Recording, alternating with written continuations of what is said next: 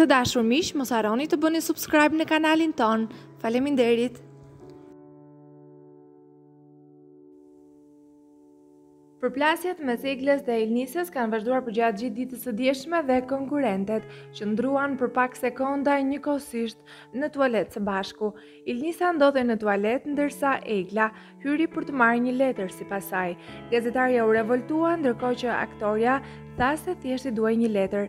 Hyrja e dy apo më shumë personave në tualet është e ndaluar, megjithatë asnjëra nga banorët nuk e mbylli derën apo të fikte mikrofonat. Ajo që u vu re është se nuk erdhi asnjë zarf i zi ditën e djeshme rreth ngjarjes, madje në faqen zyrtare veprimi duket se është justifikuar Pasi në video është shkruar Ilnisa në tualet, Egla i hyn brenda por me derë hapur dhe me mikrofonin e ndezur që nënkupton se nuk vlen për një nominim kokë më kokë mes të dyjave.